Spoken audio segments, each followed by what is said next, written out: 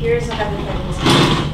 It's Friday night, and you have the entire weekend to complete some work, whether you're a student or maybe an adult, some assignments from your workplace.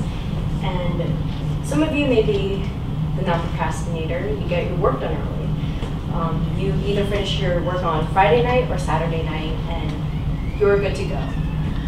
Some of you may put it off until Sunday night, but it's all right because you get your work done and before the deadline.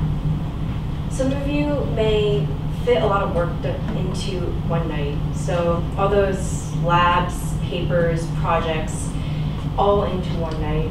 Not the best idea, but okay if you get it in.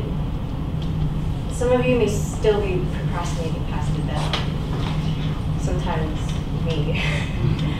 so we know procrastination is a common problem in a lot of our lives, whether it be school, work, or just life in general. But is it completely and utterly detrimental? No.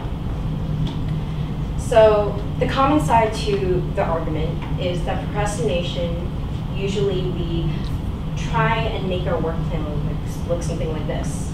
We maybe start off a little bit easy, and then towards the deadline, we increase our workload and we get our things done on a timely fashion. But some, many times it just ends up like this, where something distracts us or we're occupied with something else and suddenly it's the last possible moment before the deadline and we have to get all this work done. Procrastination is not a modern phenomenon. Here is Hesiod.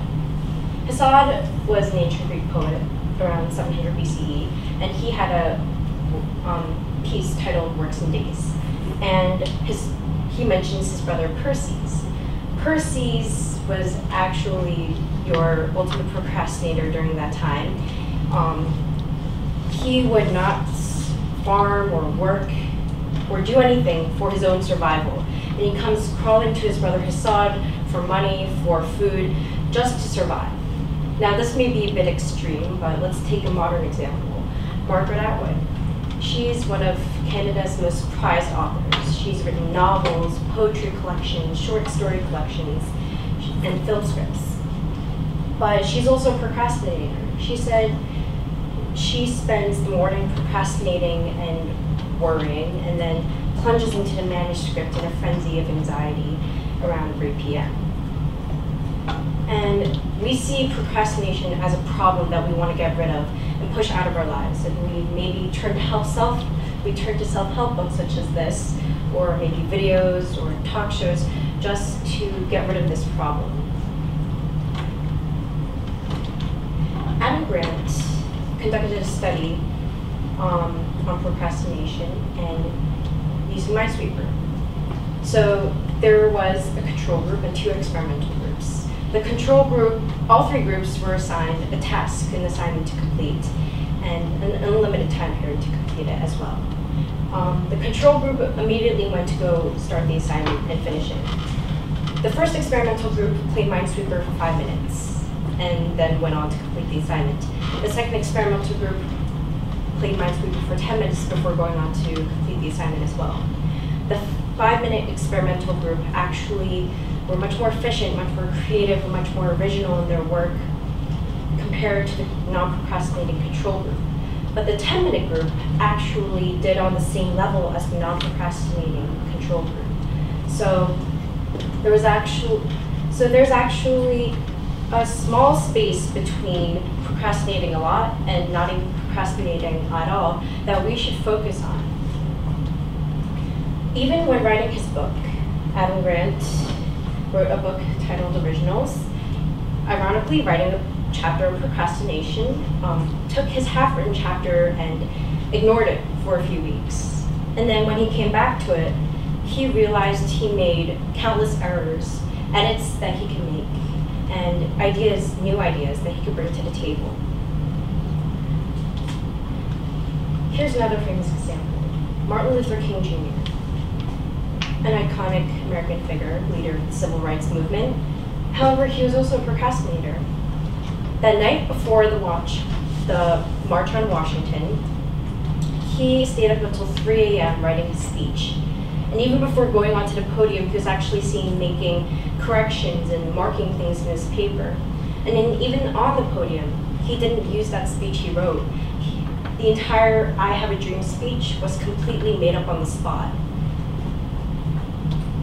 In a 2005 study by the Department of Organizational Psychology at Columbia University, researchers differentiated two types of procrastination, passive versus active.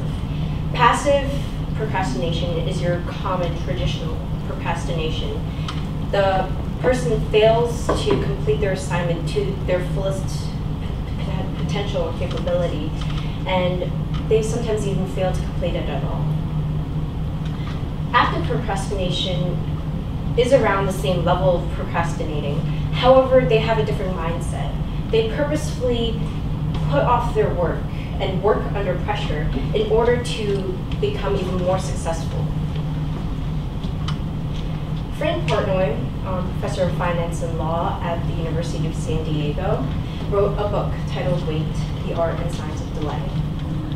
And in this book, he talks about putting things off until the last minute, such as you have a decision to make and you make it at the last possible moment.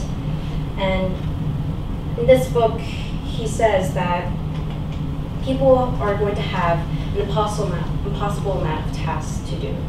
So they start imposing a great deal of delay on doing some of those tasks. And so the question is not whether we are procrastinating, it's, it is whether we are procrastinating well.